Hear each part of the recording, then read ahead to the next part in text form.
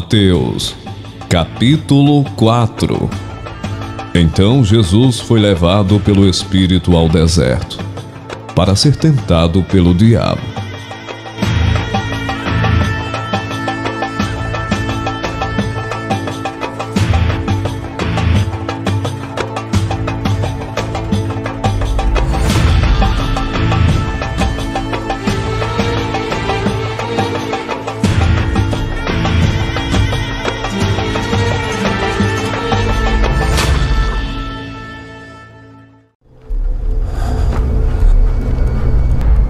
Se você é o Filho de Deus, ordene que esta pedra transforme-se em pão.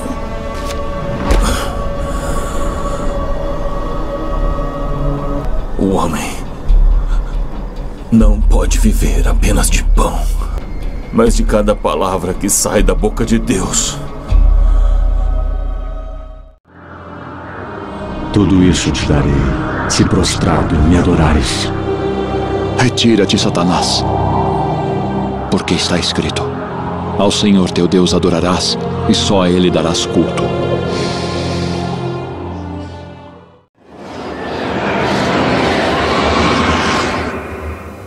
Poder. Não o segundo em comando, o número um. Curve-se a mim. Em toda a existência, antes e depois dos tempos, só uma vez. Afaste-se de mim, Satanás! Porque está escrito: amará o Senhor seu Deus e servirá apenas a Ele. Eu não vou criar um reino dos homens, me tornando o mais poderoso, mas sendo o mais pobre. Então o diabo levou a cidade santa, colocou-o na parte mais alta do templo e lhe disse: Se você é filho de Deus, atire-se lá embaixo, porque a Bíblia Sagrada afirma: Deus mandará seus anjos para cuidarem de você e vão segurá-lo com suas mãos para que nem os pés você machuque nas pedras. A Bíblia Sagrada diz: Não ponha à prova o Senhor teu Deus. Então o diabo o deixou. Depois de jejuar quarenta dias e quarenta noites, teve fome.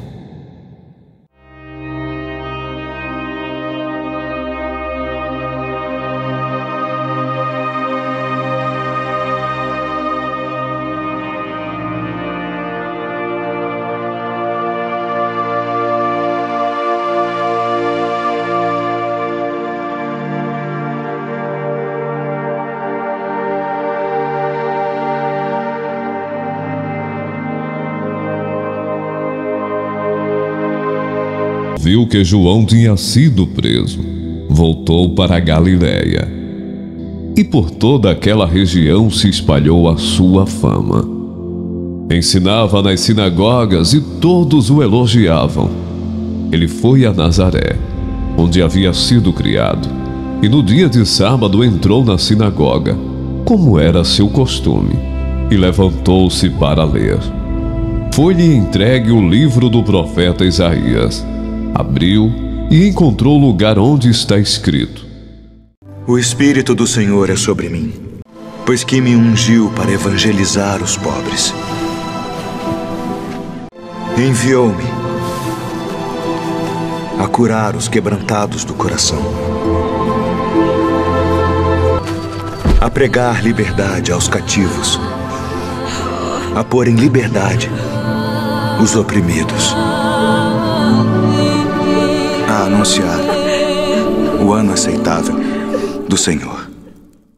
Então ele fechou o livro, devolveu-o ao assistente e assentou-se. Na sinagoga todos tinham os olhos fitos nele. E ele começou a dizer-lhes: Hoje se cumpriu a escritura que vocês acabaram de ouvir. Todos falavam bem dele e estavam admirados com as palavras de graça que saíam de seus lábios. Mas perguntavam: Não é este o filho de José? Jesus lhes disse: É claro que vocês me citarão este provérbio: Médico, cura-te a ti mesmo. Faze aqui em tua terra o que ouvimos que fizeste em Cafarnaum. Continuou ele: Digo-lhes a verdade nenhum profeta é aceito em sua terra.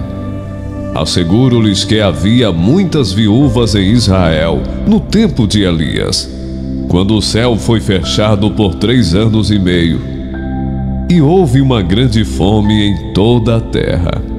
Contudo, Elias não foi enviado a nenhuma delas, senão a uma viúva de Sarepta, na região de Sidom. Também havia muitos leprosos em Israel, no tempo de Eliseu, o profeta. Todavia, nenhum deles foi purificado, somente Naamã, o sírio. Todos os que estavam na sinagoga ficaram furiosos quando ouviram isso. Levantaram-se, expulsaram-no da cidade e o levaram até o topo da colina, sobre a qual fora construída a cidade a fim de atirá-lo precipício abaixo. Mas Jesus passou por entre eles e retirou-se. Saindo de Nazaré, foi viver em Cafarnaum, que ficava junto ao mar, na região de Zebulon e Naphtali, para cumprir o que fora dito pelo profeta Isaías: terra de Zebulon e terra de Naphtali caminho do mar, além do Jordão, Galiléia dos gentios.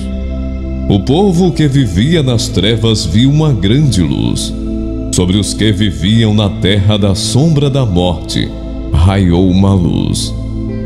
Daí em diante, Jesus começou a pregar: Arrependam-se, pois o reino dos céus está próximo. Andando à beira do mar da Galiléia, Jesus viu dois irmãos, Simão, chamado Pedro, e seu irmão André. Eles estavam lançando redes ao mar, pois eram pescadores. Entrou num dos barcos, o que pertencia a Simão, e pediu-lhe que o afastasse um pouco da praia. Então sentou-se e do barco ensinava o povo.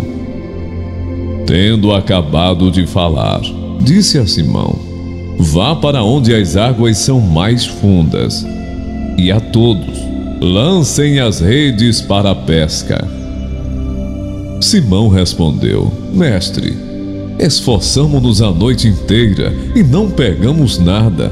Mas porque és tu quem está dizendo isto, vou lançar as redes.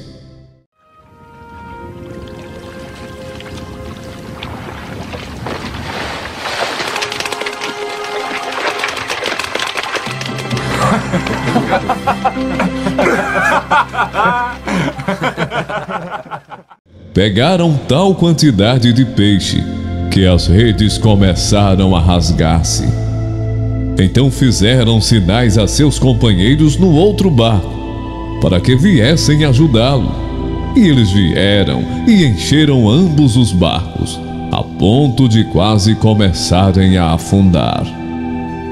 Quando Simão Pedro viu isso, prostrou-se aos pés de Jesus e disse: Afasta-te de mim, Senhor porque sou um homem pecador. Pois ele e todos os seus companheiros estavam perplexos com a pesca que haviam feito, como também Tiago e João, os filhos de Zebedeu, sócios de Simão. Então Jesus disse a Simão: Pedro, venha comigo. Deixe de pegar peixes e eu farei de você um pescador de homens. O que nós vamos fazer? Mudar o mundo.